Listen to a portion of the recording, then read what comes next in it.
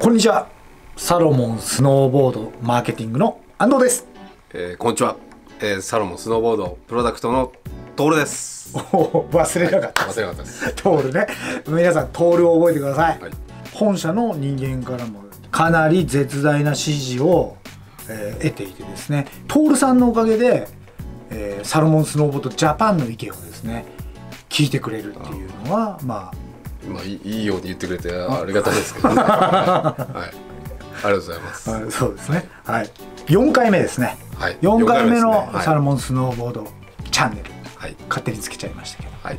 今回はもう見ればわかると思うんですよこれ。ね。サムネイルも見ていただければわかると思うんですけどえーブーツ構造がはい。そうですね。新しくリニューアルされました、はい。それが FTR FTR です。FTR 構造。はい。っていう、えー新しいブーツ構造に生まれ変わったわけですけども FTR っていうのはそもそも何の略なんですか？FTR はですね、はい。まあフィットトゥーライド、えー、これの略が FTR フィットトゥーライドってどういう意味になるんですか、まあ簡単に言うと、うん。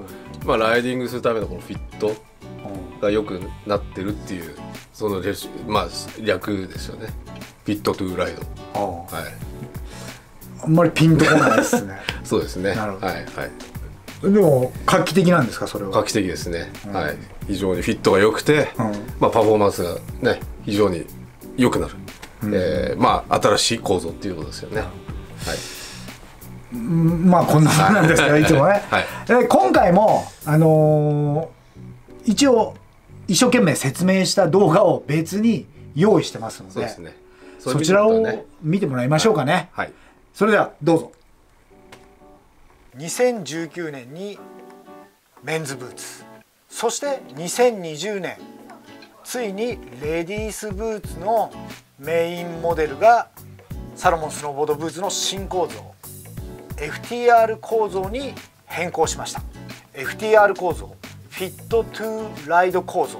まず全体が非常にコンパクトになりそしてアウターの素材の厚みが約半分になっています。軽量かつ耐久性抜群。そして非常に高いフィット性能を持つものが FTR 構造です。では細かく説明していきましょう。基本的なことですがブーツのフィット性を高めることとして注目されているモールディング。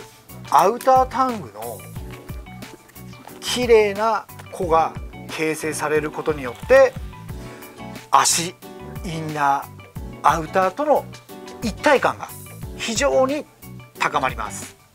インナーも大幅にリニューアルされています。まず小指の位置にあるステッチをなくしました。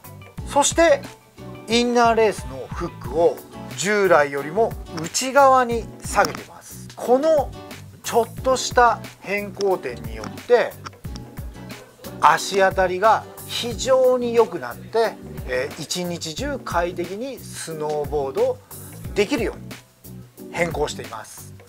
さらに超軽量。高耐久。そして高いフィット性を実現するニューフォームを採用することによってインナーだけでもスノーボードをするパフォーマンスを高めてくれます。以上がブーツの新構造 FTR 構造の説明です。インナーアウターともに大幅にリニューアルされて超軽量高耐久そして高いフィット性を持ち合わせるのがサロモンスノーボードの新構造ブーツです。皆さんいかがでしたか、えーフィットトゥーライドの、えー良さ分かっていただけました？みんな分かってくれたかもしれないですね、はい。また喋んなかったですね。まあ今回はね、そうですか、まあ、まあ今後ね喋るかもしれない。次回はしっかりとプロダクト担当の誇りにかけてしっかりと説明してほしい。わかりました。はい。あの4回目なんで多少予習してきてください。よまあブーツねあの変わって、えー軽量？軽量ですね。はい。高耐久。はい。そして一番はフィットが良くなって。るそうです。はい。あのブーツはねもっともっと良くしていきたいという思いがここ数年ずっとあったわけですよ。その中でこのフィット感は本当におすすめできます。もちろん、あのー他にもねパフォーマンス系のブーツもあるんですけど、やっぱり足当たりフィットっていうところであればこの新しく生まれ変わった、えー構造のブーツ。はいっていうのは本当に、あのーおすすめですので興味がある方はお店に行って履いてみてほしいですよね。そうですね。ぜひ履いてください。履いてあいただければ本当に分かっていただけると思いますんで。はい、はい。説得力ないですね相変わらず、はい。そんなことないな自信を持って、はい。えープロダクト担当がおすすめします、はい。それが、えー新構造。FTR フィットトゥーライド構造の搭載したブーツの紹介でした。はい。今回も言う？はい、うん。あ言わしてくださいもう次は何も言わずに言って、はい。じゃあ皆さん、えー興味のある方は、えーぜひチャンネル登録よろしくお願いします。多分これを気に入ってくれる人がいるかどうかわかんないですけあ。のー炎上するか。炎上するか多分炎上する方の方が高いかもしれないですね。どうですか？はい。